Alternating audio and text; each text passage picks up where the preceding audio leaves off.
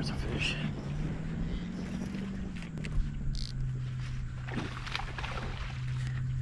I definitely need you, homie.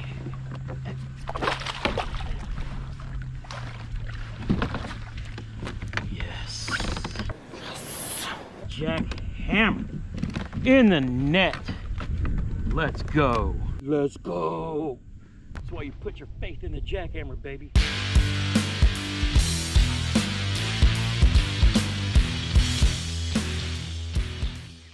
What's up everybody and welcome to Fishing with Gramps, presented by American Legacy Fishing Company. In this episode, we're going to cover the basics of my favorite, favorite bass bait the chatterbait. Now, if you're brand new to bass fishing or just looking for some tips, tricks, reviews, how-tos, hey, you've come to the right spot. The chatterbait is one of the baits that's taken the bass fishing world by storm the last several years, and it quickly became my favorite bait once I started throwing it. And over the last several years, it's literally a bait I throw almost 80% of the time I'm out bass fishing. Now, if you're a beginner to bass fishing or just coming back to it after maybe several years away from the water, but you're looking for outdoors activities to do with your kids or yourself. You may not have messed with the chatterbait before, so this is going to be the very basics, the very beginning intro to how I use it. And for experienced anglers, you're going to know all of this stuff, but I'll be coming out with some follow-on videos with some more of the tips, tricks, and you know, techniques that I've picked up along the way, along with talking about several other types of chatterbaits and how I use them. And if you're a bank angler, I'm going to have a specific video just for you talking about the Z-Man CrossEyeZ. So stay tuned in the future for those. But let's get talking about the chatterbait. Now I'm going to start with the original Z-Man chatterbait. We'll go ahead and take it out of the package. Now if you're brand new to it, a chatterbait is basically a jig with a blade attached straight to it. Now if you're brand new to fishing, what's a jig? Well, a jig is a fishing hook that has a lead head on the front of it. Now, a lot of people will compare a chatterbait to say something like the Z-Man spinnerbait, but there is a difference. This blade is directly attached to the eye of the hook, whereas on a spinner, the hook goes through and then there is a wire that comes out of the front. And the action on the spinner bait is the blades themselves spinning to make it basically look like there are three separate little fish swimming together. But these throw off thump and vibration and a lot of flash. The chatterbait does a couple of different things. It throws off flash with this silver blade, but there are some chatterbait blades that are painted so it doesn't do as much flash. But what it does is it throws off a lot of vibration when this blade starts vibrating in the water. Now why do they call it a chatterbait? Well, when this thing starts pulling it through the water and this blade starts rocking back and forth on this jig head, it literally gives a chattering sound. This rocks back and forth so much that it basically gives off a chatter under the water. But we'll get into a little more about later. Let's talk about the details of each of the basic chatterbaits and where you can find them. This, again, is the original Z-Man chatterbait. You can find this in any Walmart for about four, four and a half dollars. It's got like a silicone skirt like you would find on any typical spinner bait. And it's you can actually, like a lot of the spinner baits, pull this skirt off and change it because it just slips right on and off. So if you even wanted to get additional skirts, you know, you can just take it off and put it on and change out different skirts just like you could with the spinner bait. But we'll go ahead and throw that back up on there. If I turn this over, it's got a nice little built-in bait keeper, big enough hook to hang on, and a nice wide gap hook. And one of the ways that Z-Man likes to promote it, and they kind of, they're kind of right, even what they say on the back, it's the action of a crankbait, the profile of a jig, and the flash of a spinner bait. It's kind of like a combination of all. And one of the reasons why I don't throw a lot of crankbaits is because, like I said, I throw a chatterbait probably 80-85% of the time I'm out fishing. It's just that versatile. Now, if you get to looking at the chatterbaits and see the various sizes, I generally fish with the 3 8 ounce. By the time you throw a trailer on it, it adds a little more, and I want something I can either let sink down to the bottom or ride towards the top and anywhere between the two. But again, you can find these about four bucks in the Walmart. Now, one of my favorite chatterbaits is Chatterbait Elite. It's got a couple of little upgrades to it. Again, 3 8 ounce. Now this one is a couple of bucks more. A lot of times you got to find these online and order them. I'm going to drop a link to all these in the description down below. So let's compare the difference between the Chatterbait and the Chatterbait Elite. The head is just a hair wider and in other colors they actually will airbrush these a little bit to uh, give it some tones. But right now I'm just trying to cover the basics, so I'm sticking with the white chatterbait because for me, this is the most versatile. You can fish this almost anywhere. Future videos, we'll get into colors, tons of different trailer options. Now this one has a wire-tied skirt on it. And the Chatterbait Elites have a lot more color combinations and offerings. In the Elite, the hook is a little longer than the original Chatterbait, but it's not as wide as the original Chatterbait. But it's got pretty much the same keeper, but the hook on this one is a little more quality. It's a Gamakatsu. Realistically, if you can find either one of these, I love them both equally. Generally, I would stick with the original chatterbait because if you lose it, it doesn't cost as much, but they still catch tons of fish. But if you need more color options, the Elite may be something that you look at. And then you have the Z-Man Chatterbait Jackhammer. This is basically the tournament edition of those chatterbaits. It's just made of a little bit more components, but it costs quite a bit more. These, if you find them in stores, are normally around 15 bucks. If you go to American Legacy Fishing Company, using the link down below, I think they're about 13. But the tournament edition of the jackhammer, they've done a lot of upgrades, and this is what a lot of the tournament guys throw. I generally throw these in my tournaments. The blade is just a little bit better. It starts up faster as soon as it hits the water. It's got a detailed head with eyes on it, painted on the top. You see the skirt, and this one, they do make these in pure white. I have one back here, but if I get one that has more of a, a, a, shad color, where it's got a little bit of darker on the top and then the white on the bottom, kind of the way that a threadfin shad looks in the water, then I try to kind of match the hatch of what's of where I'm fishing. It has a double style wire hook keeper and again a quality hook on it. You can see it even comes with a little protector there to keep you from stabbing your fingers. Hooks are so sharp. This one uses a snap on it instead of the other little tie-on that's on the original chatterbait. But do I recommend these for a beginner, especially a bank anglers? Probably not. It's a good quality bait, it's really good, but for the money, stick with the original chatterbait. Now, like I said, there's several other different styles of chatterbaits. They also make, in the 8 nine in the eight nine dollar range, they came out with this Project Z. And as you can see, it's got like a, it's got a detailed swim head on it. And then this one's got is like the silicone skirts like the original jackhammer had. It's got a double style hook keeper and a good quality hook there too. But I don't really mess with these. I mean, it's it's a nice looking bait. But for me, the original chatterbait or the elite uh, will do just fine. Again, depending on colors. And we'll get a whole lot more into colors in future videos. So that's kind of a basic look at some of the different styles that you'll see generally in stores. The original chatterbait, the Elite Chatterbait, and the Jackhammer. Of course, you hear everybody talk about Jackhammer because that's what most people throw in tournaments. If you're just bank fishing or, or out fishing for fun, trust me, I fish for practice for tournaments just as much as I do tournaments, and I throw the original in the Elite and catch the exact same fish. It might be a confidence thing for me during a tournament to throw the Jackhammer, but is it really necessary? I don't think so. But if you're brand new to fishing, you don't care about all that. You just want to learn the basics with these, how to catch some fish. So I'm just going to treat both of these the same, the original chatterbait and the elite. And we'll talk about how I, and again, start with a white chatterbait. You could throw this anytime, anywhere, catch fish. Let's talk about some of the different trailers we put on. Now first I'm going to start with what you can find the most often. And that's probably just running to, you know, making for a quick trip to the local Walmart. Zoom Super Fluke. All right, so first what I'm gonna do when I go to feed this on, I am going to hold the nose of the bait against the bottom of the skirt and then figure out where that hook is going to come out and then I'm going to hold that in my hand here and then I'll turn it over. And I want the top of the fluke the flat side to run along the bait so that it comes out you know in line with the head of the chatterbait. So now that I know that I, how far I want to feed it on I'm just going to start running it through straight on. And I am going to keep this. I've made a mental note where I'm going to be coming out but what I want to do is I want to keep the hook running along, say, the spine of this fluke. So I want it to stay on the very, just under the surface along the top part of this bait. So I'm gonna start feeding it on, and right about there is where I want my hook to come out. And then I'm gonna feed it around, push it up over that bait keeper, give it a little wiggle jiggle, and then I'm gonna pinch in so that that bait keeper grabs it, and boom.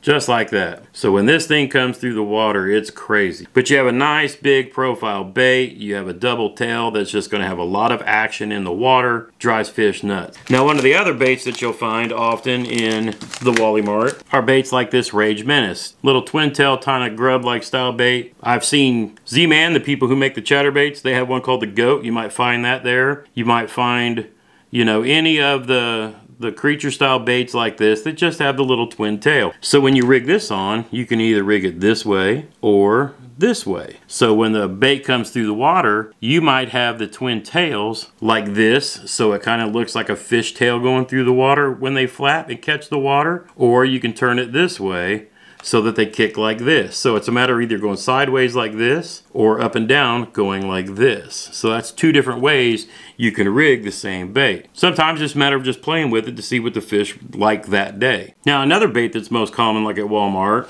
are these little swim baits that's got the little paddle tail to them might see Keitechs, the Googan Bait Saucy Swimmer, uh, Rage has got the, can't remember what they call their paddle tail, but something with a little paddle tail like this. But you don't want to rig this on like you would a normal swim bait because the paddle tail itself is meant to be, it's meant to generate action by the water coming through the tail and then making that tail really toss and turn. That is actually counterproductive to the blade that's on the chatterbait because the blade is disrupting the water and it actually makes the tail work in a way that will drive the bait back up through the water column and you don't want that. You want to keep it where it's at and you're controlling the speed or the height of your rod tip di dictates where it's going to ride the water column. So what a lot of people will do is they'll rig it upside down because then it's got a little more subtle action, but it's not catching as much water. What I prefer to do is take a pair of scissors and right where the paddle meets the tail, I just nip it off. And what that does is it leaves a little bitty fish tail just like that. So that when you rig it on, push it up, squeeze it on, then I mean you can see the action the tail has it's by itself just like that. So but when the blade is working and it's throwing this jig head back and forth, it drives that little tail, it just it just goes like crazy. Now this is my one of my favorite late summer presentations with a small swim bait like this because it represents those small shad that just spawned a couple of months ago and they're starting to grow. They're still really small, but the bait fish really load up on these. So sometimes this time of the year, a big fluke style bait like this might be too big. You want something a little bit smaller in the water coming through and this little swim bait does a great job of representing that little you know shad spawn that's starting to grow.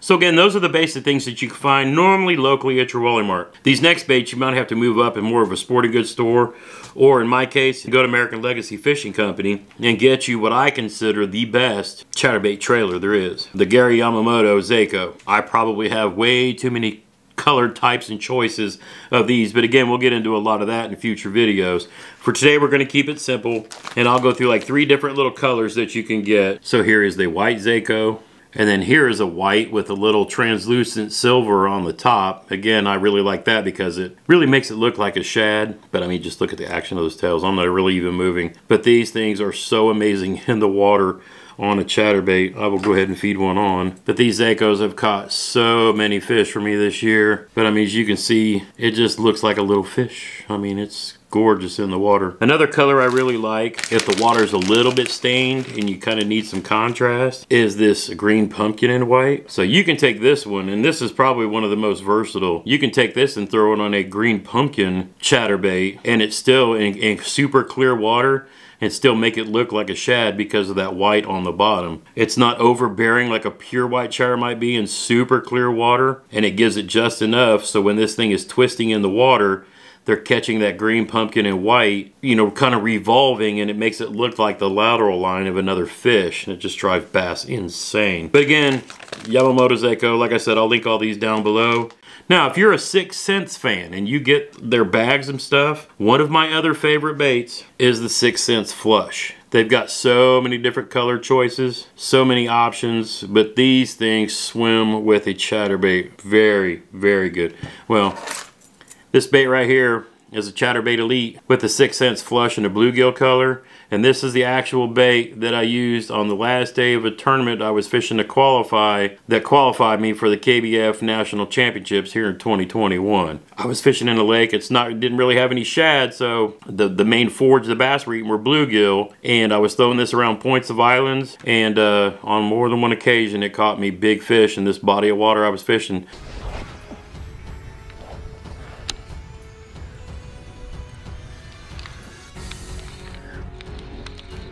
That might be a keeper.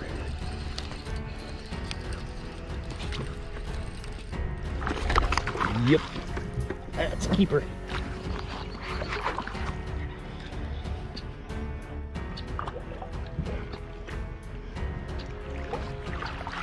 You go ahead and hop on my net right here for me, homie.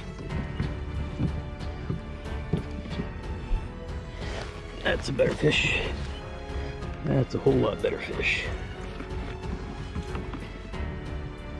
Nice little chunker. And sometimes you got to really match up with what the water has, you know, to catch them, especially in heavily pressured lakes. But we'll get into more different color types and trailers and whatnot in a future video. So those are some of the different trailers I like to use. Again, the chatterbait is a great you can use it in place of a spinnerbait, a crankbait, and even a jig dragging it along the bottom of the water. Super muddy water, you can throw black and blue. Early in the spring when those crawfish are red, you can throw a red. We'll do separate future individual videos on those. All right, now that we've covered the basics for the chatterbaits and some of my favorite trailers to start with, let's talk about the gear I use and then how we tie it on. Now let's talk about line that I use for throwing a chatterbait. For me personally, 15 pound Seaguar InvizX fluorocarbon that's my go-to for chatterbaits up and down the line. Being a kayak tournament angler, I have invested a little more in higher end gear for chatterbait. I've got the Dobyns Champion chatterbait rod. The bait caster I use is a Daiwa Zillion reel, six gear ratio, but that's way overkill for a beginning angler, so let's get back to the basics. If you've been following my beginning bass fishing series, you might recognize this reel because we just did a pond video on it. Basic Abu Garcia Black Max, $39 at Walmart. Simple chatterbait with the fluke on it, still there from that video. This is 12 pound Stren Easy Cast monofilament. Now when you're fishing a chatterbait with something like this, you're gonna have the bend and flex of the spinning rod that's a little bit softer than normal. So when you set the hook, you're gonna wanna sweep the rod pretty well. Why? Because you're gonna have extra bend of this medium rod and monofilament tends to stretch just a little bit more. So if you get into really loving the chatterbait and pretty much tired of throwing everything else and you want to have a dedicated setup to it, I would recommend probably going to 15 pound fluorocarbon just so you get a little bit less stretch. But you don't have to if you don't want to. This will still catch fish. If you've been fishing with the spinning rod for a while and are already a little more advanced in your techniques and haven't made the jump to bait casters yet, you might be fishing with braid which is great. Less stretch. Moderate action rod with the braid makes for a great combination throwing those chatterbait. You don't have to sweep quite as hard. The rod will give you plenty of action to play the fish, but the braid will give you plenty of hook penetration when you go to set that hook. Now my personal preference if I was using a spinning rod, since you still have the moderate action of the spinning rod, this 15 pound fluorocarbon. You get the good action of the rod, but you get again a, a line with very little stretch to really drive that hook set home. If you're still primarily using spinning gear and you have a rod with fluorocarbon already on it, to me, that's my favorite chatterbait combo if you're using spinning rod. And on the baitcasters, you'll get some varying opinions on this from different folks because everybody has their own way of doing it. There's no wrong way if you're catching fish. Myself, I prefer a medium action rod with a six gear ratio bait casting reel like this Kevin Van Dam. This is the Googan Squad reaction rod. Has caught me a ton of fish playing around while I was testing this rod. It's got a really good action. Now some will say seven foot medium heavy action rod. There's nothing wrong with that either, catches fish. I tend to like something that's got a little more give in the rod itself because if they get imparts a little bit better action on a chatterbait. Again, 12 to 15 pound Seaguar InvizX fluorocarbon works like a champ for me. I like the six gear ratio because to me it works the chatterbait. People say, well just get a super fast one and then reel slower. I've heard that before, but a lot of people don't realize when you miss a big fish and your adrenaline's through the roof, then all of a sudden you're reeling super fast and you're not working the bait at the speed it's supposed to be going. So again, I tend to try to match the action of the bait to the reel that I'm using. If you've only got one rod and one reel, yeah, you have to speed up and slow down. It makes more sense to maybe have a faster gear ratio. But if you're working on setting up a specific chatterbait combo like I was talking about here, six gear ratio, moderate action rod. All right, so let's talk about knots. If you're using one of your spinning combos with monofilament on it or braid on your spinning rod or bait caster, tie a simple Palomar knot. I'll link a video up to that up here. If you are throwing fluorocarbon, I don't recommend the Palomar knot. And I'm not the only one who doesn't recommend the Palomar knot for fluorocarbon. You may have been tying it on there a million times. I've never had a problem. Okay, that's understandable, but I'm not willing to risk the biggest fish of my life to a knot that can potentially cut into itself. And it's not just me saying that, there's tons of videos of pros saying the same thing because they fish for a living. I don't, you probably don't, but they do. And they tie other knots than Palomar knot because if you don't tie it perfectly, it can cut into itself and lose your bait. So all that being said, let's talk about the knot that I tie, the San Diego Jam knot. It's a very fast, a very easy knot to tie, and it's very easy to learn. All right, so what you do is you feed your line through the eye one time with your offhand and you're going to pinch the main line with one hand and in the other hand you're going to grab your tag end and what you're going to do is you're going to loop the tag end line over that finger and then pinch it so that you have both the main line and now that tag end in your hand. And then what you're going to do from here is take this tag end and wrap it around both of those line six times. One, two, three, four, five, six. And then from there I will just let go and I will take my index finger and point it up holding this loop and then I'm grabbing the bait down here. Now what I'm doing here with the tag end is I am going to run it through the loop at the bottom of those wraps. And once I do that, I'm going to pull it out. And I've got it again in my hand. And I'm going to take this tag end and I'm going to poke it through the loop at the bottom of my finger the same direction that the main line is going. And then I'm just going to pull it up. And now I'm going to let all of this go. And I have both the tag end and the main line in this hand. And from here, I'm just going to start slowly tighten it down just a little bit. And then I'm going to wet it. I'm going to pull it a little tighter.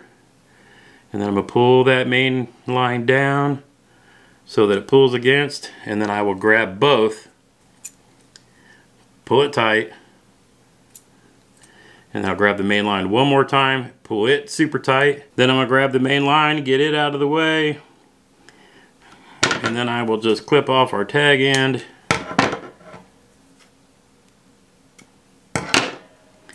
Once I've clipped the tag end off, I'm gonna pull it tight one more time. I'll have a little bit there at the tip, that's fine. That's just case it slips out.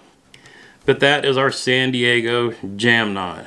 It has not failed me once and has always been solid. Now when you actually go to fish this, you can make long casts, reel it in like you would most any other bait, just, you know, reeling, throwing it out, pulling along grass, you know, grass lines and just reeling it back in. What I love to do is I will throw it out and then I will, as I'm reeling it in, I will twitch my rod tips. And what that does is it makes that bait really dodge and dip around and sometimes it really if a bass is following it just that little twitch all of a sudden change a moment they're thinking it's going to get away and they're going to come up and grab it now our chatterbait's perfect nope will you lose fish on them yeah it happens to everybody sometimes you might come past a fish and as this bait's coming by, they're going to grab it kind of from the front. And when you go to set the hook, they may feel that and they'll open their mouth and blow it back out. When the fish comes up and grabs it from behind like they do normally, you'll be able to get a good hook set into them. Now, when we talked about the actions of the rod, one of the reasons why I like a little softer, softer action, so to speak, is the you don't want to pull the bait away from the bass. Now what normally happens is a fish will come up and get it and then what they'll do is they'll exhale the water out of their gills and then they'll pull it back into their mouth a little bit more as they go to crush the bait because that's what they do is they crush their their prey so to speak. They do it with crawfish they do it with you know with other little fish that they're eating. But a lot of times that initial hit that you might feel is them actually sucking the bait in so at that point, they may not have, you know, exhaled that, that water out of their gills yet and moved it back to really crush it. So sometimes almost if you feel it too fast, you'll swing to set the hook and they'll just open their mouth and let you pull it out. Sometimes they'll get it in their mouth and you may start reeling and pulling against on them and what you've actually done is you don't have that hook in their mouth. It's just sitting kind of like that hook is in my hand like this and if you go to pull and set the hook, you might catch, you know, something on it that, you know, you'll get enough hook into them. But until they really move it back in there to crush it, um, you don't have that hook in them yet. More often than not, if we feel it too fast and set the hook too fast, we could pull that hook away from getting the hook into them. It's a matter of when they get it back a little more and then you go to set the hook, and it, then it drives it somewhere in their mouth. You'll catch a corner of their mouth. You'll catch the roof of their mouth in the back. I pointed at my chin. You'll catch you'll catch the top of their mouth a lot and get that hook into them somewhere. So on smaller fish, big fish, sometimes it's a challenge because they have so much open room in their mouth. When they go to blow that back out, it'll come out free. Sometimes you you might be setting the hook as it's coming, and you'll you'll turn the bait and it'll catch their, you know, it'll catch them like this as it's coming out, but you just never know. Now again, this video is very basics of a chatterbait and we're more focused on this bait imitating a fish. The chatterbait can also be fished with craw baits, and we'll get into that in another video. We go into a lot more depth and talk about a whole bunch of different trailers if you're fishing the chatterbait as more of a craw style bait. But again, this is just basics, getting people started. Drop me a comment down below. You've been fishing with the chatterbait. What do you think? Is it one of your favorites like it is mine? I've been loving it. Now, stay tuned for part two when we start talking about different colors and different trailers like this Berkley Chigger Craw. Until next time, get outside when you can and make some memories, one cast at a time.